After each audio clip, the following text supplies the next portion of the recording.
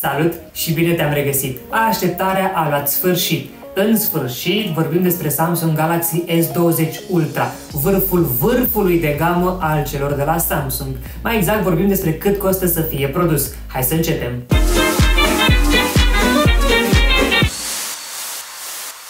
Nu sunt eu un as în ale tehnologiei, cu atât mai mult când vine vorba de Samsung, dar strategia lor, cel puțin din ultima perioadă, pe mine unul mă bagă în ceață. Poate fix în cultura mea în materie de tehnologie să fie de vină. În fine, Samsung a lansat la CES 2020 variante Lite pentru S10 și Note 10.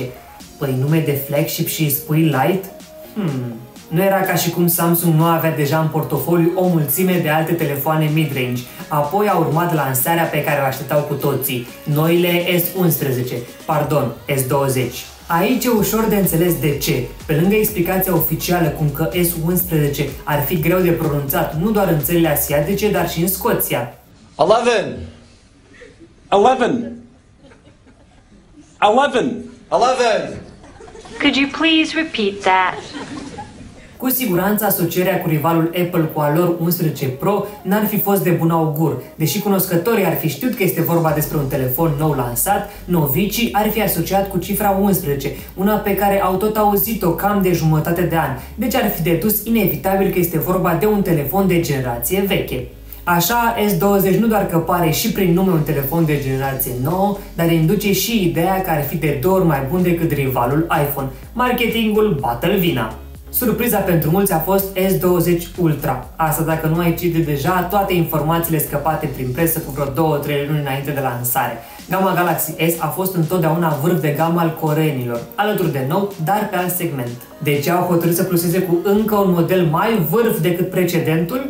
Pe de o parte avem strategia despre care am tot vorbit. Dacă în ofertă există trei variante de buget, inevitabil clienții vor alege varianta de mijloc. Așa au senzația că nu cumpără nici cel mai ieftin și mai puțin dotat produs, dar nici nu și-l permit pe cel mai scump. De cele mai multe ori, brandurile exact asta își doresc, să atragă atenția asupra modelului de mijloc. Nu mă crezi? iPhone 11 s-a vândut mai bine decât 11 Pro.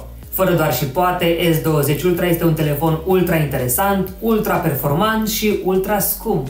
Prețul de pornire în Statele Unite ale Americii 1400 de dolari, la noi 6500 de lei. Și când te gândești că acum 3-4 ani se părea ireal un preț de peste 800 de dolari pentru un smartphone, iată că se poate și mai scump. Să începem distracția și să vedem cât costă să fie produs S20 Ultra. Ca de obicei luăm fiecare componentă în parte și la final facem totalul. Până să începem, tu cât crezi că îi costă pe cei de la Samsung să producă noul Ultra? Lasă-mi un comentariu și hai să vedem câți dintre voi ghicesc. Cea mai scumpă componentă? Surprinzător, cel puțin pentru mine, nu este vorba de ecran. Până acum ceva timp, cel puțin când făceam eu astfel de episoade, display-ul era cea mai scumpă componentă la majoritatea telefoanelor. Iată însă că vremurile se schimbă și prioritățile sunt altele. Astfel, nu este de mirare că cele mai scumpe componente din S20 Ultra sunt camerele foto-video.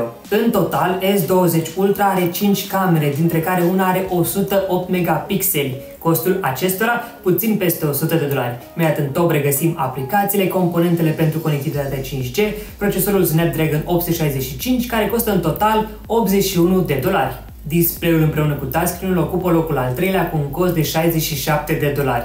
Memoria RAM adaugă 44 de dolari la costul final, iar componentele ce țin de conectivitatea Bluetooth, Wi-Fi și așa mai departe încă 33 de dolari. Placa de bază costă și a 28 de dolari, senzorii costă 11 dolari, componentele non-electrice 30,5 dolari, componentele audio și de power management 9,5 dolari, iar asamblarea și testarea costă 27,5 dolari, bateria doar 7,5 dolari. Evident, mai există o mulțime de alte componente mici, cutia și accesoriile, plus marketingul și cercetarea. Pe acestea două din urmă nu le putem cuantifica. Costul final 528,5 dolari. Dacă adăugăm totuși promovarea și cercetarea, costul per unitate poate ajunge la maximum 700 de dolari, ceea ce înseamnă chiar și așa un profit per unitate de 700 de dolari. Sună destul de bine, nu?